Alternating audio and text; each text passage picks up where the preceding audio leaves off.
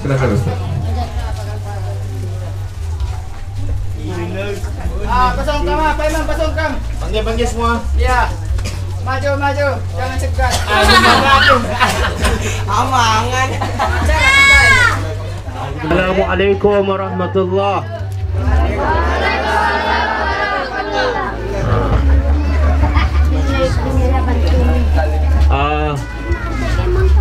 saya ucapkan selamat petang kepada semua anak-anak.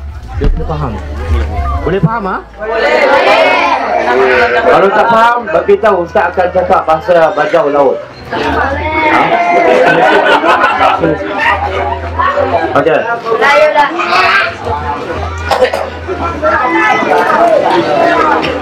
Pasal datang masuk, masuk, masuk.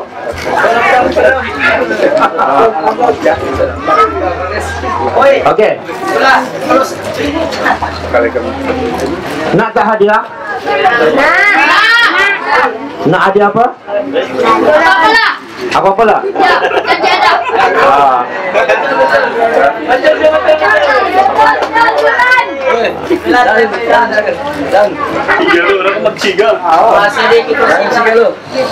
Okey. Kalau nak hadiah berhenti merokok dulu. ah. Nak tak hadiah rokok? Jangan-jangan masih kecil. Masih Ah. Kita layak, kita layak. Okey. Ustaz dan kawan-kawan datang daripada Kuala Lumpur. Ha. Ustaz daripada NGO Gulam Ad-Da'wah. Pernah tengok kan? Pernah tengok ah? Tak pernah. Oh tak pernah. Adik baru lahir kat sini ah? Ya, baru.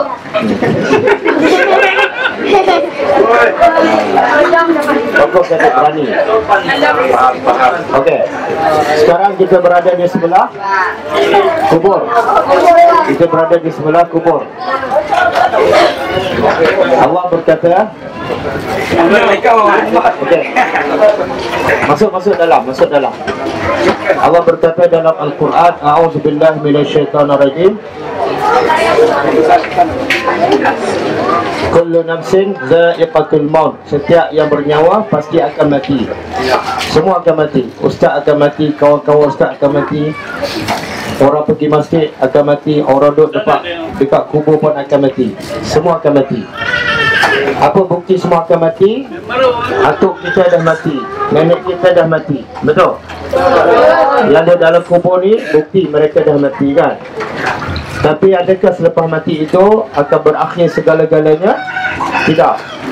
Kita bagi orang Islam selepas hidup di dunia ada satu lagi kehidupan selepas mati. Nama dia kehidupan akhirat. Nama dia kehidupan akhirat. Apa di, kenapa dinamakan akhirat? Sebab selepas mati kehidupan itu adalah kehidupan yang terakhir. Akhirat maknanya yang terakhir. Iaitu selepas mati ada kehidupan dan selepas kehidupan itu tidak ada lagi kehidupan lain. Maka namanya kehidupan akhirat. Okey? Tapi sebelum kita pergi ke alam akhirat, kita akan pergi ke alam kubur. Alam kubur. Sebab tu Allah kata setiap jiwa pasti akan mati. Semua akan mati kan? Ada tak siapa-siapa yang mak bapak dia dah mati? Angkat tangan. Ada. Ya, ada. Yang atuk dia dah mati. Ya. Moyang nenek dia dah mati.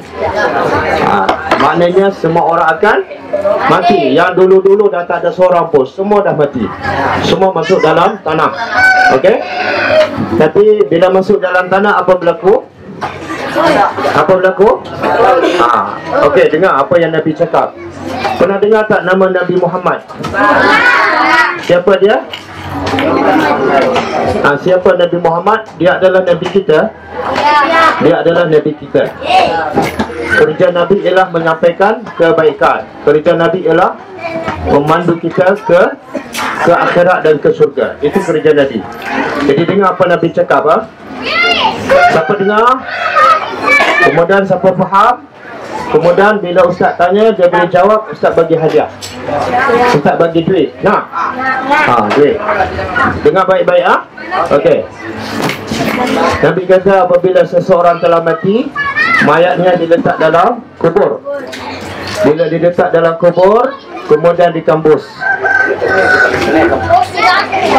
Setelah dikambus, apa berlaku? Ah, datang dua malaikat. Datang dua malaikat. Yang pertama namanya Munkar, yang kedua namanya Nakir. Dua malaikat akan datang dan malaikat ini akan bangunkan mayat yang dalam kubur. Kemudian kalau mayat tu orang yang beriman. Kalau mayat tu orang yang beriman, orang yang percaya pada akhirat, percaya pada Allah, orang yang solat, orang yang puasa, maka mereka akan bertanya, siapa Tuhan kamu? Man Rabbuka? Siapa Tuhan kamu? Orang beriman yang dah mati itu akan menjawab Tuhan aku ialah Allah. Dia boleh jawab sebab dia beriman pada Allah Sebab dia ikut perintah Allah semasa hidup di dunia. Okey, soalan kedua. Ingat soalan ha? Soalan kedua Apa agama kamu? Ha, sekarang boleh jawab Tapi dalam kubur belum tentu. Dalam kubur belum tentu boleh jawab. Siapa yang beriman Siapa yang solat, siapa yang ikut perintah Allah semasa hidup kat dunia, dia akan jawab agamaku ialah Islam. Tapi siapa tak ikut ajaran Islam, siapa tak ikut perintah Allah, dia tak boleh jawab. Okey? Soalan ketiga. Soalan ketiga ialah apa kamu kata tentang lelaki ini? Lelaki ini ialah Nabi Muhammad. Kalau kita masa kat dunia, kita ikut syariat Nabi, kita ikut sunnah Nabi, Dengar. Siapa dapat jawab Ustaz bagi duit? Nak tak duit? Nak 50 ke 100? Okey dengar baik-baik. Dengar baik-baik. Soalan ketiga Apa kamu cakap tentang lelaki ini Iaitu Rasulullah? Orang yang beriman akan jawab Dia adalah Hamba Allah dan pesuruh Allah sebab dia beriman Masih hidup dia ikut sunnah Nabi Dia beramal dengan cara Islam. Dia boleh jawab. Setelah dapat jawab tiga soalan Mayat yang beriman ni Setelah dapat jawab tiga soalan Maka kuburnya Kubur ni sempit tak? Oh, dah kamu tu. Sempit. Tapi bila orang beriman dapat jawab tiga soalan ni Dia kubur Allah akan buka seluas Sejauh mata memandang Kubur tu akan menjadi luas je. Sejauh kita nampak di sana Seluas itulah kubur orang yang beriman. Kita tak boleh nak fikir Sebab alam kubur dah bukan alam dunia. Dia tak sama dengan dunia. Kubur orang beriman akan menjadi luas je. Dan dihamparkan Hamparan daripada syurga.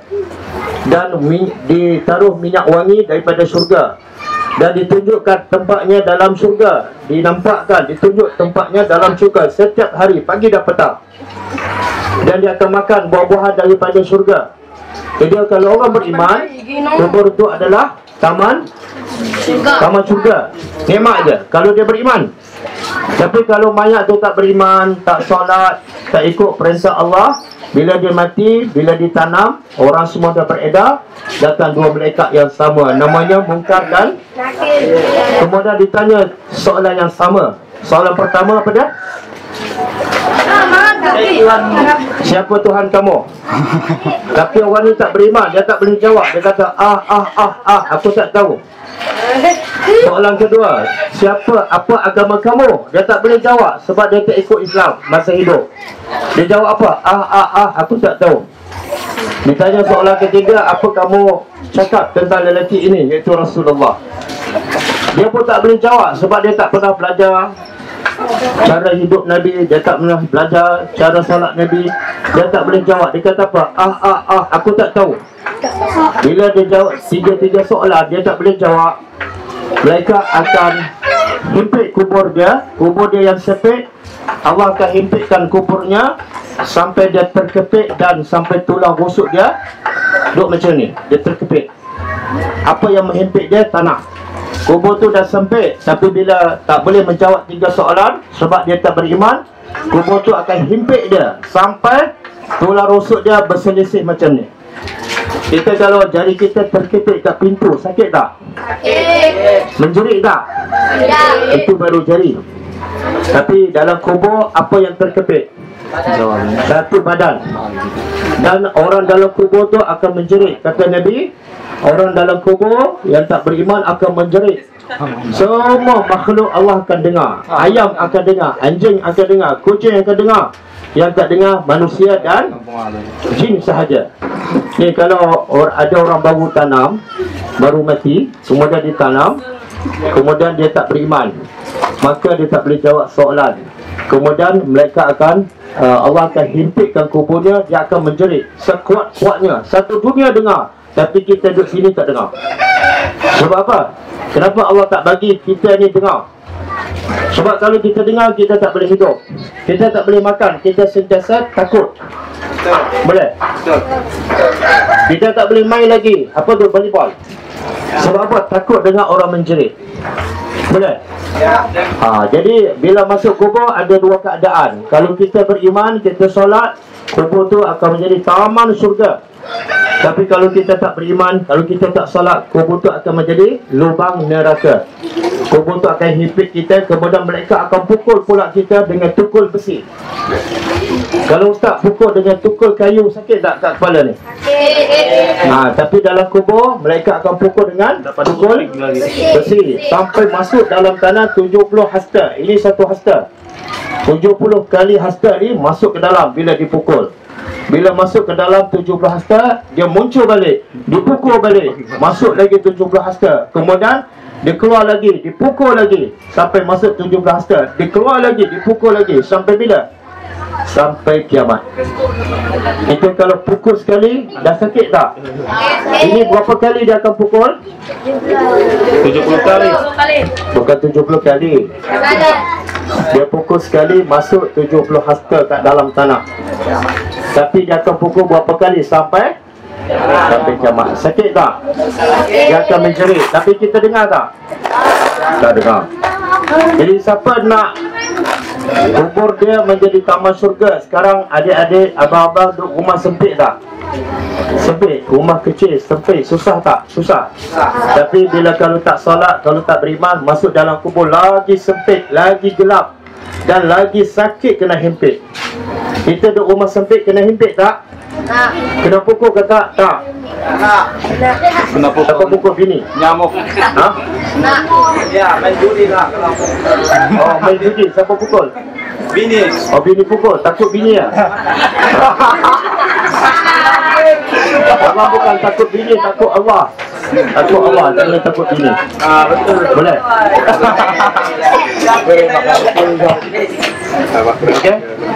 Sebab itulah kubur ni satu tempat yang mulia Bila kita lalu tepi kubur ataupun kita duduk sini Nabi pesan Bacalah doa pada orang dalam kubur Kalau dia kena seksa, kita baca doa Doa tu meringankan azab orang yang dalam kubur kita kesian tak kalau kita nampak orang kena pukul? Kesian tak? Kita nak bantu tak? Kita nak bantu. Kita nak bantu. Tapi bila duduk dalam kubur kita boleh bantu tak? Tak boleh. Kita pun tak dengar.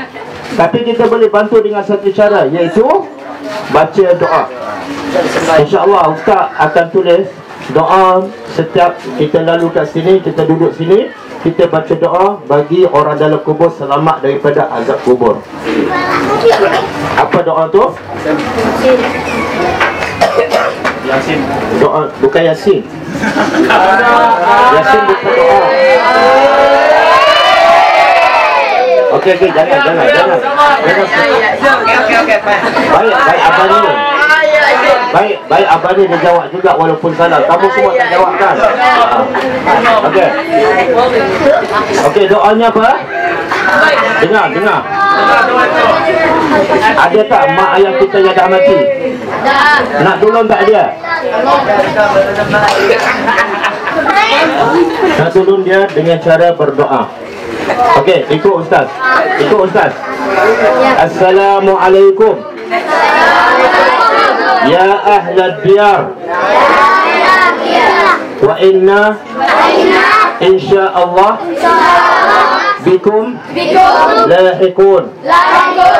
يرحم الله المستقدمين منا والمستأخرين. يغفر الله لنا ولكم. Ah, dengar maksud dia. Kita kata Assalamualaikum Sejahtera ke atas kamu Wahai penghuni kubur Ini ajaran Nabi eh? Ajaran Islam Bila lalu tepi kubur Baca doa Supaya dengan doa tu Meringankan azab orang dalam kubur Apa maksud doa ni? Sejahtera ke atas kamu Diam dia Diam dia Sabar, sabar, blok. Maksud doa sejahtera ke atas kamu wahai penghuni kubur. Kami insya-Allah akan ikut kamu. Betul tak? Satu hari kita akan mati. Ya. Ya. Bila kita akan mati dan masuk kubur? Bila? Bila-bila masa? Bagus adik. Mungkin malam ni, mungkin besok, mungkin minggu depan. Kita tak tahu. Jadi kita pun akan ikut jejak orang dalam kubur. Satu hari kita duduk dalam tu. Bila kita kena pukul, kita menjerit orang tak dengar, orang buat tak tahu. Tapi bila kita selalu baca pada orang dalam kubur, baca doa, bila kita mati insya-Allah orang yang lain pun akan baca doa untuk Kita. kita. Kemudian dalam doa tu kita minta ya Allah rahmatilah kami dan orang yang telah meninggal. Ampunlah dosa kami dan dosa orang yang telah meninggal. Boleh? Boleh. Kemudian kata Nabi alaihi wasallam, dengar. Nabi kata adab berada di kubur adab berada di kubur Nabi kata daripada kamu duduk di atas kubur lebih baik pakaian kamu terbakar lebih baik pakaian kamu terbakar dan akhirnya api itu mengenai kulit kamu. Lebih baik badan kamu terbakar daripada kamu duduk di atas kubur. Kenapa? duduk di atas kubur satu dosa besar. Duduk di atas kubur adalah tidak beradab kepada orang dalam kubur. Itu adalah rumah mereka. Nabi larang kita duduk, kita bermain kita buat benda yang tak elok di atas kubur. Itu menyakiti orang dalam kubur dan kita juga akan dapat dosa boleh? Boleh. Jadi sebab itulah uh, pihak kami buat pagar supaya adik-adik main kat sini dan kita buat dataran. Nanti insya-Allah bila kita ada duit kita akan sini sini lagi boleh main dengan selesa. Setuju? Betul. Ha, bila-bila bila-bila main kat sini ha? Ya. ha jangan main atas kubur ha? Boleh? Boleh. Boleh. Setuju? Boleh. Setuju ha? Janji, janji ha? Janji apa? Kami selalu larang lagi. Ha, siapa yang nak masuk kubur nak duduk tolong larang ha? Ya. Tolong larang. Ustaz tak payah kunci, adik-adik akan larang ha? Boleh? InsyaAllah. Kemudian main kat situ. InsyaAllah bila uh, kita akan buat dengan lengkap dengan cantik lagi. Tempat duduk kita akan tambah lagi. Okey? Okey. Boleh? Boleh. Ah cuma ustaz minta satu lagi. Nak main apa mainlah, tapi jangan jangan belaga ayam. Boleh? Boleh. Boleh? Boleh. Oh tak boleh dengar lagi. Kesian ayam, ayam tu nak hidup. Tak pasal-pasal dia luka kat sini kan? Ya. Kalau kita orang orang tumbuk kita kat sini marah tak? Ya. Ha, jadi ayam tu tak pasal-pasal tengok luka kat sini. Sebab apa kita lagakan dia? Kesian ke dia? Tak kesian ke? Ya. Ha, kalau ustaz lagakan adik ni dengan adik ni okey? Tidak. Tidak. Sampai berdarah okey? Tidak. Suka? Tidak. Ah begitulah ayam. Ayam ada perasaan. Ayam ada perasaan. Boleh? Boleh. Setuju tak untuk Setuju. tak belaga ayam? Angkat tangan. Ah, kalau Okey. Okey. Kalau adik belaga ayam dapat berapa sen? Tiada. Tiada. Tiada. Hai. Lah ustaz ingat dapat duit. Tak dapat apa-apa. Ada. Oh, dalam pahala tak dapat, duit pun tak dapat. Rugilah macam tu. Dosa sudah itu. Ah, dosa lagi. Lebih baik berhenti, betul? Ah, okey, setuju tak berhenti? Setuju. Alhamdulillah. Kalau dapat duit, kalau belaga ayam dapat duit, berhenti belaga ayam, ustaz bagi duit. Tapi tak dapat duit. Jadi ustaz pun tak bagilah. Ah. Boleh? Boleh. Setuju? Setuju. Adik-adik nak main apa bagi tahu. Nak bola ke nak jari ke bagi tahu. Main bola. Ah, okey. Nak bola berapa biji? Main bola berapa biji? Mainlah, tapi jangan belaga. Ayam. Kesian ke ayam. Jangan Kesian ke ayam. Ingat di akhirat besok, ingat. Ingat di akhirat besok, ayam tu akan Allah hidupkan dan Allah ayam tu akan cari siapa yang belaga dia. Allah tu ayam tu akan tuntut beda. Siapa yang belaga dia, siapa yang bagi dia cedera, siapa yang bagi dia patah kaki, ayam tu Nabi kata akan dibangkit di akhirat dan akan tanya kita balik dan akan patuk pula kita. Nak tak? Masa tu kita tak boleh buat apa-apa. Tak nak? Alhamdulillah. Boleh ha? Setuju? Setuju. Allah. Okey. Ada apa-apa lagi? Ada soalan? Siapa nak tanya soalan? Tak ada. Okey, malam ni Ustaz nak jemput makan. Boleh makan? Boleh. Nak makan? Okey, tapi makannya pukul 10. Boleh datang? Boleh. Tetapi bila nak makan kena datang pukul 8. Boleh? Boleh. Ah, datang ke kawasan rumah transit. Ha? Ah.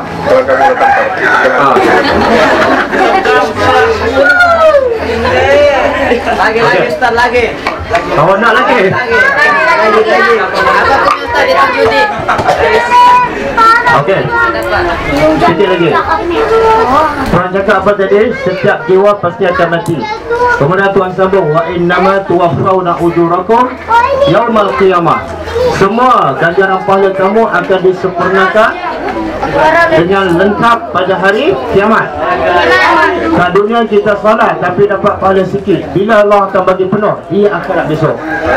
Kemudian Tuhan cakap, "Faman zuhziha 'anil nar." Siapa yang di akhirat besok dijauhkan daripada api neraka, selamat daripada neraka, wa udkhilal jannah dan dia dimasukkan ke syurga, Nabi Tuhan kata faqad faz. Sesungguhnya dialah yang telah berjaya. Siapa yang berjaya? Yang selamat daripada neraka dan berjaya masuk Boleh? Okey. Ustaz tanya soalan. Apa boleh jawab Ustaz bagi hadiah, duit. Nak? Okey. Hukum duduk di atas kubur Dosa besar. uh, Dosa besar tu satu lagi Nabi buat perumpamaan. Orang duduk di atas kubur Lebih baik. Lebih baik daripada apa? Abdi baju atau daripada minum minta mafugul. Oh Ustaz tak faham. Bahasa Melayu? Lebih baik baju terbakar daripada duduk di kubur. Masya Allah. Tepuk tangan